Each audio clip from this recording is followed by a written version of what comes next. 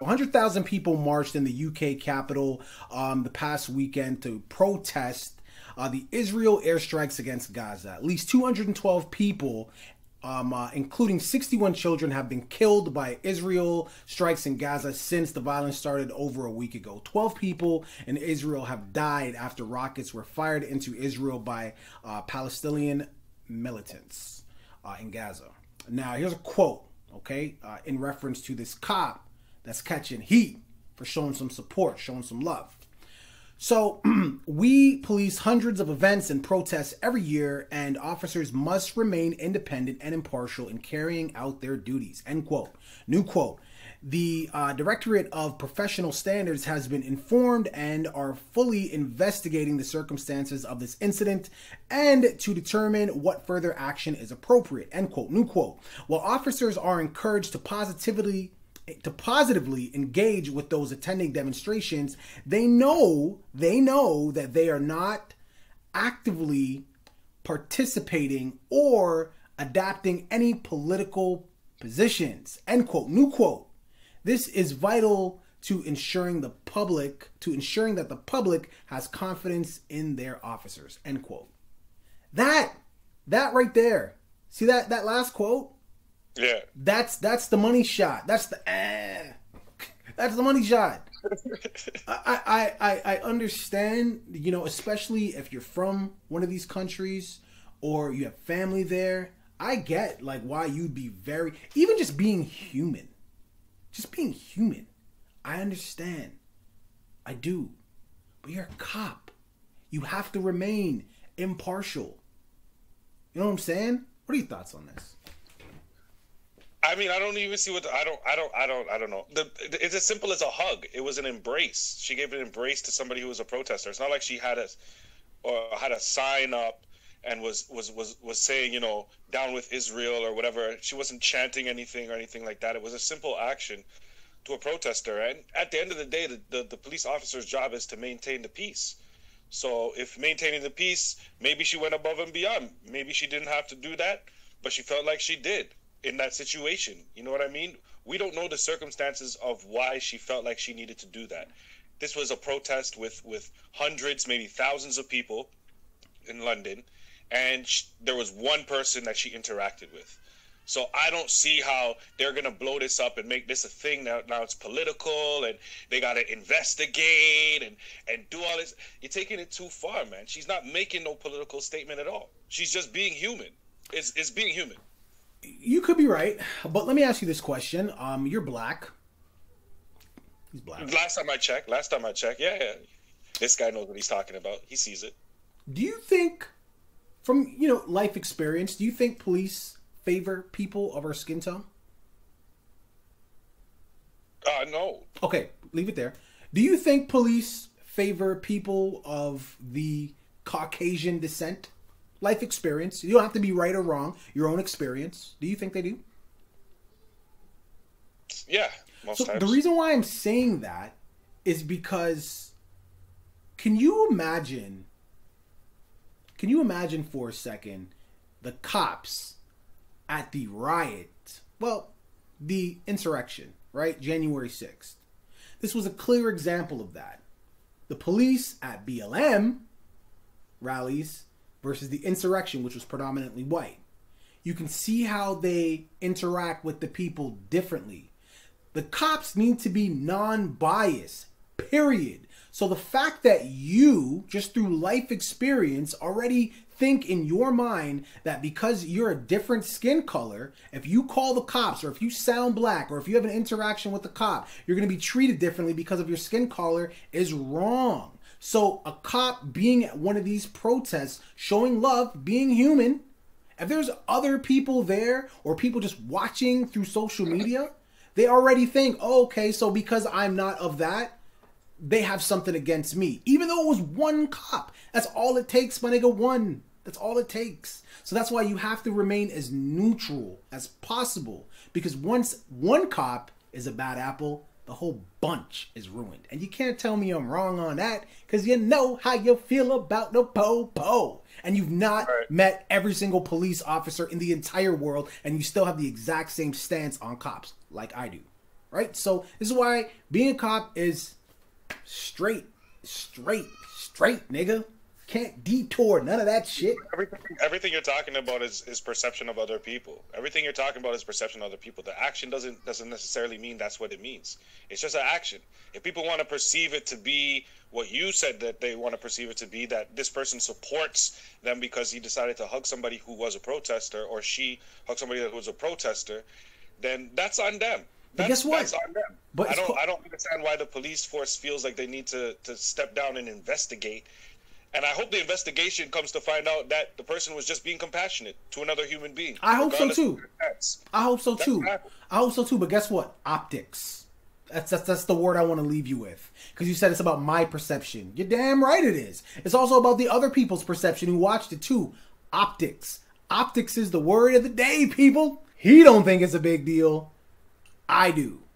What do you think? Leave it in the comments. Don't forget to like and subscribe. Don't forget to hit that the uh, that description box. Deuces. Joe Rogan said straight white men are being silenced by woke culture.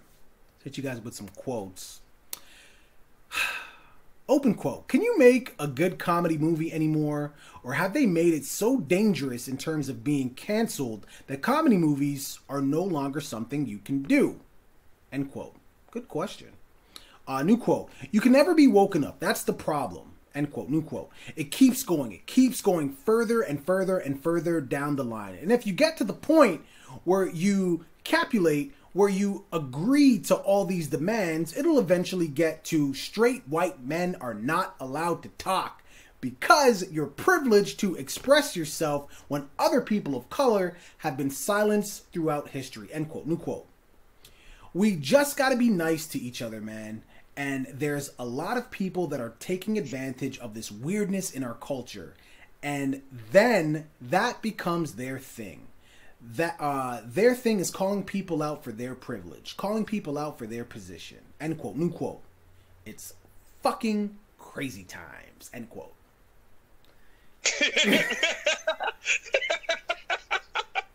I love good- doing That's a good final quote. I love doing these quotes. It's funny, especially Joe Rogan quotes. Um, look, straight to the point. he has some gems in there, man. People are way too sensitive. Um, one of my favorite stand-up comedies is Delirious. Eddie Murphy. Eddie Murphy. There's no network where that could ever be aired. No dist- uh, distribution company would ever pick that up. It would just never come out. Ever. Period. The internet wouldn't even the the dark web wouldn't even allow that. You understand me? like people are so sensitive today. It just wouldn't happen. So I agree with Joe Rogan. Like we're losing a lot of great shit here and you're stifling a lot of creativity. Jokes, people, they're just jokes. Are straight white men being silenced by woke culture? Let me look. I, I I'm not going to speak to the straight part but I mean, I guess it all plays a factor, so fine, whatever. You know, there are some states in America where they've made it illegal to get an abortion. Now, I want to be clear about this. The people who are making these decisions for a woman, because a man can't get an abortion, you guessed it, straight white men. So, do they need to shut the fuck up? In some cases, yes. In some cases, absolutely yes. Shut the fuck up forever. Yeah, of course.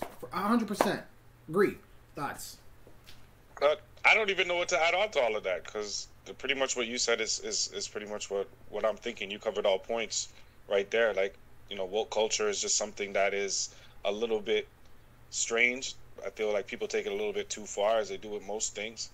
And then as far as what uh, Joe Rogan said, you know, it's he's sitting on a the the the the backlash that he's catching is because he's sitting on a podcast right now that has millions of listeners and he's getting hundreds of millions of dollars and he's talking about being silenced as a white man. So it kind of doesn't make a lot of sense.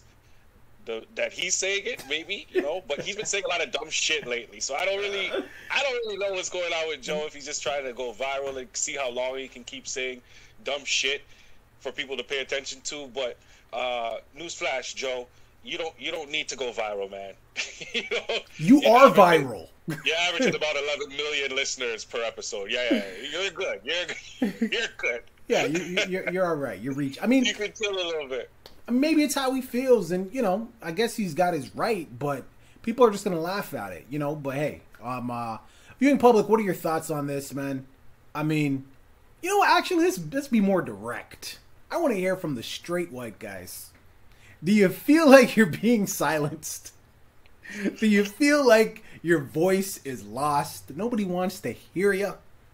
Seriously, and I say this with a smirk and sarcastically. But I'm Right. curious. I want to know how you feel about this. Is Joe talking shit or is he standing up for you? The downtrodden, underprivileged, looked over, straight white man. Leave it in the comments, man. Don't forget to like and subscribe. Hit that description box. We got goodies. Deuces. So this is crazy. Um, first of its of its kind. You know, we love those gems, those jewels. The uh, basketball Hall of Fame ceremony just recently happened, and you know, Kobe. There was a speech with Vanessa Bryant and Michael Jordan that's going viral. Uh, Kevin Garnett was an inductee. We all know who got inducted if you're into basketball Hall of Fame. It's a prestigious, prestigious, prestigious place. It's not like other Hall of Fames where they pretty much would let in anybody who's played the game and was considered a superstar, NFL. Uh, but there's 400 of the 50 years. There's only 400 people that have been inducted into the Hall of Fame, and one of the newest inductees has never even played in an NBA basketball game. And he's from the great city of Toronto. That's right, Toronto. Stand up. Oh, well, Nav. Yeah, dust off the shoulders a little bit. Give yourself a little, yeah, give yourself a little pride because we keep killing the basketball game. First, we have the greatest dunker in NBA, and now we have the first fan ever, ever, ever, ever inducted into the Basketball Hall of Fame, Nav Bhatia, the super fan. And this is not the the the Hall of Fans because lots of these places have have halls of fans. Believe it or not, there's Hall of Fames for fans. I know, I know. I'll catch you off guard with that one. It's not one of those. This is the actual Basketball Hall of Fame, and they chose to to uh, commemorate this with some of his prestigious prestigious items that he's garnered over the years. And one of the things that I think is pretty cool is his turban is one of the things that's on display. But what do you think about this? You think of all the this is 50 years of basketball, and I know you don't know sports a lot, you know, but you I don't know, know why you keep telling everybody that. Stop you know saying now. that shit. Stop saying that shit. I know it irks you. I know you do shit to irk me. I know that irks you. so That's I get, true. I get, right, I get my enough, little thrills. I get my uh, little thrills. Look, man, at the end of the day, I think this is great. I think this is a great thing because, yeah, I get it. You know, it's very difficult to get into the NBA Hall of Fame. and not play one game. not- a lot of people Dang. I could imagine be they're very pissed off at this. You know, but but we keep pissing off the NBA, so let's add another notch on the belt. But anyway, never thought about that. Look, no, man, this guy has done so many great things. So many great things for Toronto. For Toronto. And he's done a lot of great things for the NBA. As far as I know, I don't think so. But he's done tons of great things for Toronto, for the youth in Toronto. So, yes, does he deserve to be in the NBA Hall of Fame? Fuck no. But because he's in the NBA Hall of Fame, I am going to back it until I die, and I'm gonna find any reason why he should be in the, in the NBA Hall of Fame. He's been at pretty much every single Raptors game. That's a dedicated fan. He's he's taken underprivileged kids to Raptors games. That's a dedicated fan. That's a man who's trying to make a change in young people's lives. Weren't you just saying LeBron James and Tom Brady? They were making changes in young, you know, people in in underprivileged Right. neighborhoods looking up to them. He's doing he's doing it for real. He's doing it for real. So hell yes, he deserves to be in the NBA Hall of Fame over some of these incredible basketball players who've been playing for years and years and years, and he's never played a game. You damn straight. Yo, that's my nigga, man. You- I'm sorry. Listen, I know. Listen, this guy doesn't know a lot about sports. I don't say that that often. You know what I mean? Not But at all. this is this is the thing. If you think about it, I want you to think about it this way. He's been at every Raptors home game since 1995. That's 26 years, let's say 41 games a year. He's been at every he's actually been in more games than some NBA players. His career has lasted longer than any other NBA player. I'm giving you stats that we got to think about, people. I'm giving you stats. If you want to talk about Iron Man, no NBA player has ever been at every single home game. You know what I'm saying? So some of them were not there for that were absent, were sick, were away, surgeries. You know what I mean? These are stats that these are Iron Man stats. He earned his right. And I think it's hilarious that another one of the things that they chose to commemorate him with was the courtside seat that he sat in for all of those years. Which I'm saying to myself, in what is he sitting in now? What is he? What is he does he stand for? The, does he just have to stand for the rest of the games now? Yo, the other thing too to remember is Jackie Chan. He won an Oscar. He didn't win an Oscar for just some role, some great movie he did. They gave him an honorary Oscar.